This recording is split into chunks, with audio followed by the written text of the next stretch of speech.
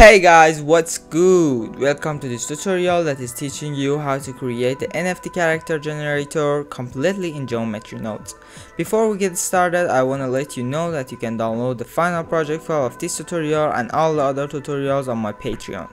As you can see, this is the way the generator works and because it works by frame, I can simply render a thousand frame animation to generate 1000 NFTs. Let's talk about what we need to organize this generator. First off first you need to have a character with its attributes which are basically the eye, the glasses, the body, the hair, etc. You might have modeled it by yourself or you can even download one. For example let's take a look at my character. I modeled the character and I rigged it to fold its hand. I added some shape keys and I made the mouths on the shape keys. After that I modeled the eye and the glasses and because I'd use them as one object as an item of my NFT character, I had to join every object together. Here is our first question, how can we join several objects together? And the answer is easy. First of all you must make sure that there is no modifiers on your objects because for example if you have a mirror modifier on one of your objects and you join all the other objects with it the mirror modifier will apply on every object you joined. You can keep a subdivision surface modifier if you have that on every object or at least most of the objects, but if you don't, just apply it. You can apply your modifiers by going to the modify properties, click on this arrow and apply them in row from top to bottom. After you got done with editing each item and you applied the modifiers, select all the objects and press Ctrl J to join them. I know I somehow marginalized the tutorial, but if you want to do this, you need to adjust its setting, so please be patient and we'll be creating our generator in 20 seconds. Now I have these eyes with different appearance and each of them is one object.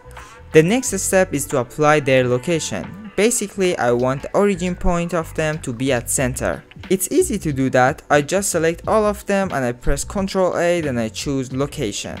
As you can see, the origin point of each item is at the center now. We are prepared to create the NFT generator now, but pay attention that you have to do all the steps I said for each attribute you have, like bodies, hairs, etc. It's time to organize our items. Basically every attribute of a particular type should be in one collection. For example, I have these three clothes, I select them and I hit M to move them in a new collection and I name it clothes. You can access to your collections from the outliner. From this clothes collection, I can determine the rarity of each item. For example, I want the normal share to be common, so I duplicate it to increase the amount of that and therefore we are going to see it in our NFTs more often. After I classified all the attributes as collections, I go to the geometry nodes workspace and I add a plane in the 3D viewport. After that I go to the edit mode and I select everything then I hit M to merge every vertices at center. This empty item is our NFT generator, so I rename it in the outliner. I hit on this new button to create a new geometry node setup, but before we get to work with the nodes, go to the edit menu, preferences, add-ons and turn on the node wrangler add-on. Then close this window and in the geometry node editor go ahead and delete the group input node. Press Shift A to add a new node and search for points node. Then add it and connect the geometry to the geometry of the group output node. As you can see, this point is at center and this is the reason why we applied the origin point of our items to the center. After this points node, I add an instance on points node and I'm going to use my collections as instances.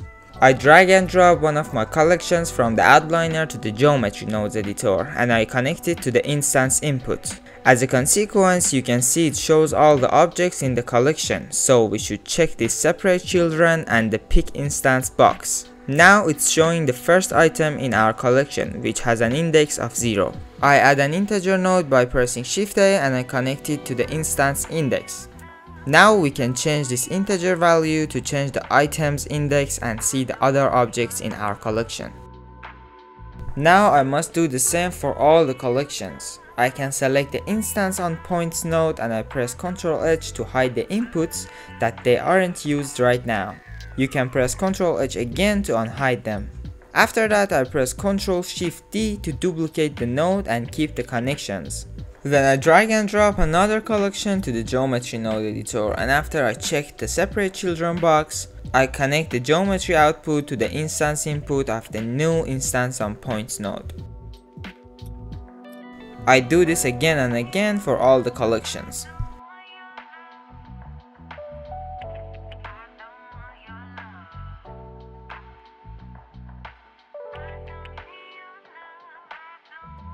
After I repeated the action for every collections, I added a join geometry node and I join every instance on points node together. Now I can easily change the integer value to change my character's attributes, but there is one more important thing left. I hold shift then I right click and drag on these noodles to create a single input.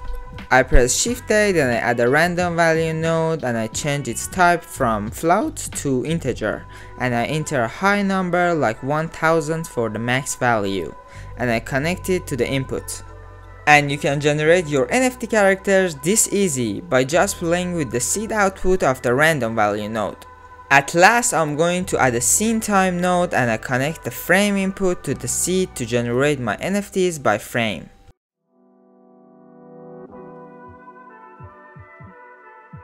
That's it guys, we are done with creating the NFT generator and the next step is lighting.